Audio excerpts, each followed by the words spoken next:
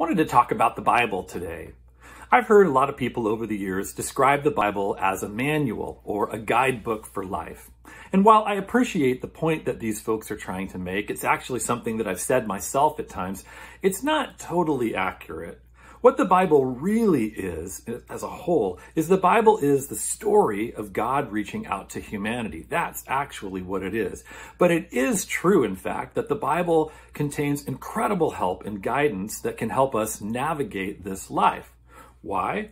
Well, because it's God's word. Listen to what Psalm 119, 105 says about God's word. It says, Your word is a lamp to my feet, a light to my path.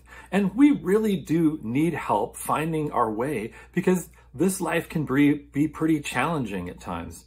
And sometimes we're not sure what we should do or how we should live or the kind of people we should be. Life and this world can be pretty dark at points, but the scripture shines light. It sheds light on our lives and the world to guide us.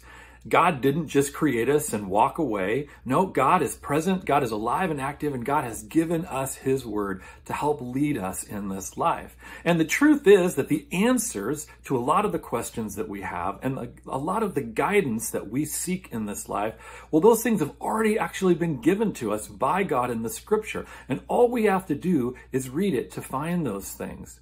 If we follow the scripture, we're going to avoid a lot of pain and hardship in this life.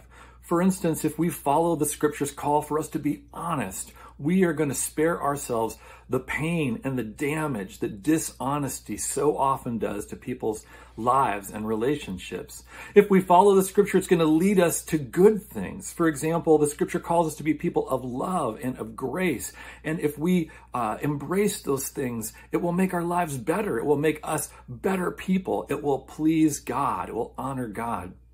However, I want to be clear that if we are out there following the scripture, um, although that's a good thing, it doesn't mean that nothing bad is ever going to happen to us. In fact, the scripture itself is very clear that uh, life is difficult and hard things happen to everyone, uh, even to people of faith. But the promise is that God and His Word will be with us in the good times and in the difficult times, especially in the difficult times, to guide us. I also want to reckon with a truth that we need to be aware of. And the truth is that if we really follow what the scripture teaches, that will in fact lead us into trouble sometimes. Because if we're out there doing what is good and right, not everyone in this world is always going to appreciate that. There's an old saying that captures the truth of that. And the saying is, no good deed goes unpunished. And that's the truth of it, is that if you're going to do what's right, if you're going to stand up for what is right in this world, sometimes that can be a pretty unpopular thing to do, even though it's the right thing to do. But the thing we need to remember is that God's way is the best way, even when life is hard. So let's keep on letting God's word guide us every day.